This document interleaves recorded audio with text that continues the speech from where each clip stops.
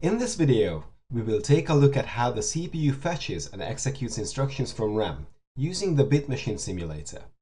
Watch these two videos to learn about how each of the CPU registers work and how frequently used data is handled using cache.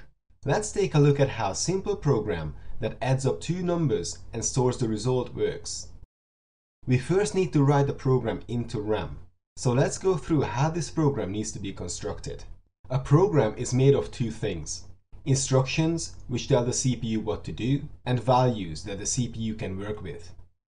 In real life, RAM is not split into sections like here, but this makes visualizing it easier. Both the instructions and the values are individually stored in memory addresses that the CPU can use to locate and access specific areas in RAM. An instruction has two parts, the opcode, which is the instruction itself, and the operand, which is the memory address the instruction will be carried out on. Essentially, the opcode is do this, and the operand is to this memory address. So our simple adder program has to be written using these available resources. Let's start by putting in the values, as that is more straightforward.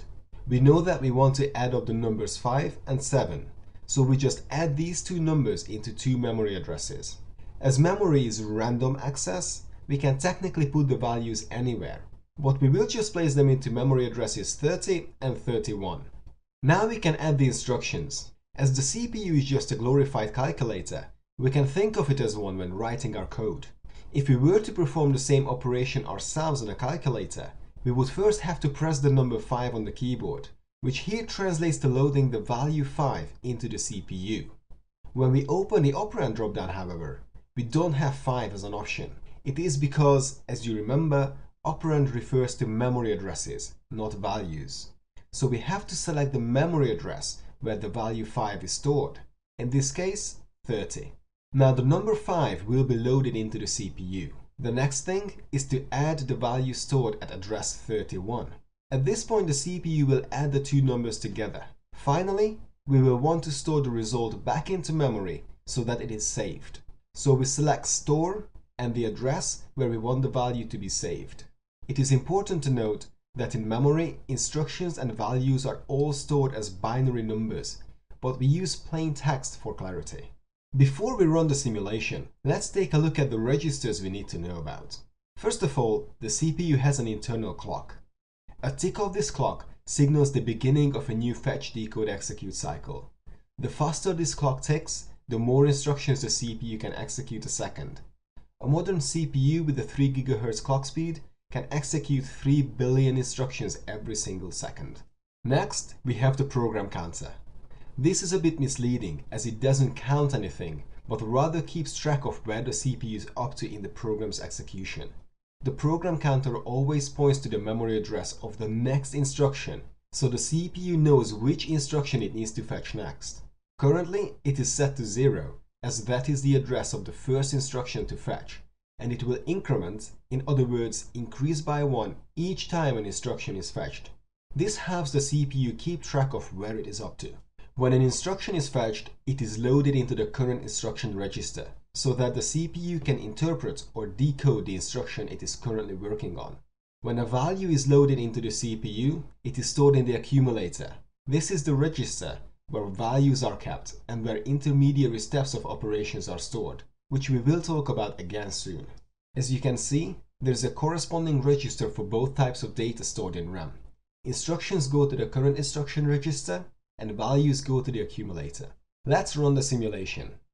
The first thing that needs to happen is the tick of the clock, indicating a new cycle. As we are fetching an instruction, the CPU has to know which instruction to fetch. To find this out, it looks at the program counter. As it is set to 0, the CPU will locate memory address 0 and fetch the instruction from there, loading it into the current instruction register. Now that the current instruction has been fetched, the program counter must be incremented to ensure that it always points to the address of the next instruction to be fetched.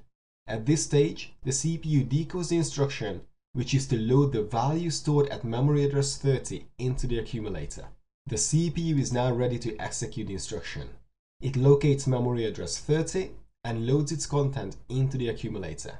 Remember, the CPU does not care about what is actually stored in the memory address. It just knows to load whatever is in there into the accumulator. This completes one cycle. The clock ticks and a new cycle begins. As we are fetching an instruction, the CPU once again needs to know which instruction to fetch. For this, it looks at the program counter, which is currently set to 1. So it locates memory address 1 and fetches the instruction into the current instruction register. With the current instruction having been fetched, the program counter must be incremented to point to the address of the next instruction. The instruction is now decoded. It says add the value stored at memory address 31 to the value stored in the accumulator. So the CPU locates address 31 and adds it to the value in the accumulator. This is the reason why this register is called the accumulator, because the intermediary results of operations are stored here, gradually accumulating. If we were to add up 100 numbers, the result of each addition would be stored here. Let's start the final cycle. The clock ticks and the CPU looks at which instruction to execute. Memory address 2 is located and the instruction is fetched into the current instruction register. As the current instruction has been fetched, we must increment the program counter. Store 32 is now decoded. This means store the content of the accumulator back into memory address 32.